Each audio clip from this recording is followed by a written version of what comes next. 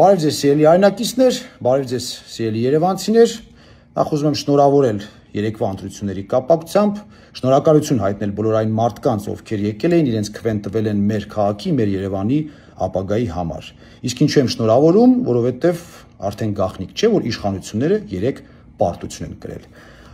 Երևանի ավականիում կա 65 մանդատ եւ այս 65 մանդատները բաշխվել են հետեւյալ կերպով։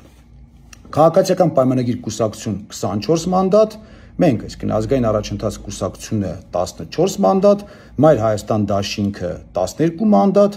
Հանրապետություն կուսակցությունը 8 մանդատ եւ Հանրային ձայն կուսակցությունը 7 մանդատ։ Այսպիսով 65 մանդատից Երևանի ավականու իշխանությունը ունի ընդամենը 24 մանդատ եւ ընդդիմադիր 4 ուժերը իրար հետ միասին ունեն 41 մանդատ։ Եվ այսպես, ինչպես կարող ենք շարժվել առաջ։ Քանի որ եւ ես եւ մեր թիմը մշտապես գործել ենք բաց, թափանցիկ, հրաապարակայինորեն ներկայացրել ենք մեր բոլոր առաջարկները եւ լուծումները, այս անգամ եւս հենց այդպես էլ ուզում ենք անել։ Քիչ առաջ տեղի ունեցավ մեր նորաստեղծ ֆրակցիայի նիստը եւ նիստի ժամանակ որոշում կայացվեց, այդ որոշումը ես ուզում եմ հրաապարակայնացնել եւ մեր Երևանցիների համար եւ մնացած քաղաքական ուժերի համար։ Եվ այսպես մեր առաջարկը, քանի որ այս 4 անդիմադիր ուժերը իրար հետ ունեն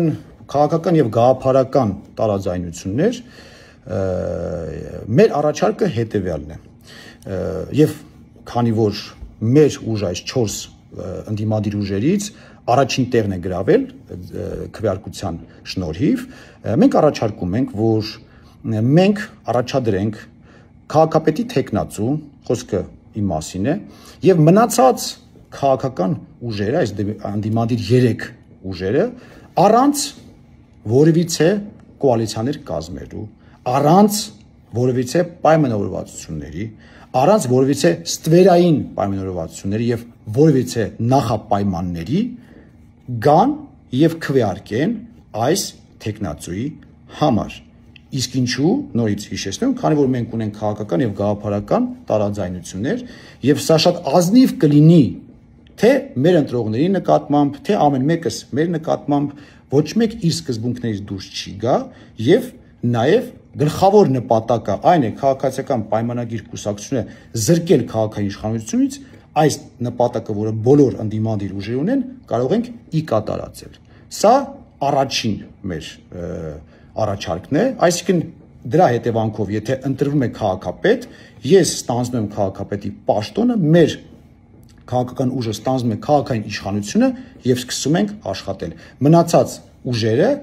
դառնում են ընդդիմություն եւ մենք իրականացնում ենք այս աշխատանքը եւ այդ այս ընդդիմադիր 3 ուժերը արդեն իրենց վերահսկողական ֆունկցիաները կարող են իրականացնել որպես ավականու անդամ, այսինքն իրենք լիարժեք իրավունքներ ունեն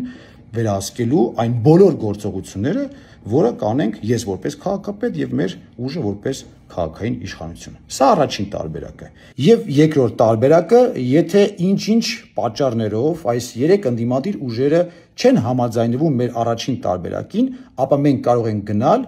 նոր քաղաքային ընտրությունների եւ թող արդեն ժողովուրդը որոշի հետագա ընթացքը։ Ինչպես ենք դա անում, շատ པարս։ Քանի որ ինչպես նշեցի 65 մանդատից հավաքանու Երևանի իշխանությունը ունի ընդամենը 24 մանդատ, ապա առաջին նիստը ավականը, որը պետք է հրավիրվի եւ դրա համար պետք է ապահովել քվորում, կարող է չհրավիրվել, այսինքն քվորումի համար պետք է 33 ձայն, իշխանությունը ունի այդ 33 ձայնը։ Իսկն եթե ընդդիմությունը ուզենա, այնպես կարող է կազմակերպել, որ քվորում չլինի, նիստը չի կայանում, քաղաքապետ չի ընտրվում եւ գնում ենք նոր ընտրությունների։ Ընդ որում ես համոզված եմ, որ այս անգամ ընդդիմության դիրքերը ավելի ուժեղ կլինեն, որովհետև մարդիկ ավելի ակտիվ կմասնակցեն ընտրություններին։ Սա էլ երկրորդ տարբերակը, սպասում ենք քաղաքական ուժերի արձագանքին, իսկ ձեզ ելի Երևանցիներ եւս մեկ անգամ շնորհավորում եմ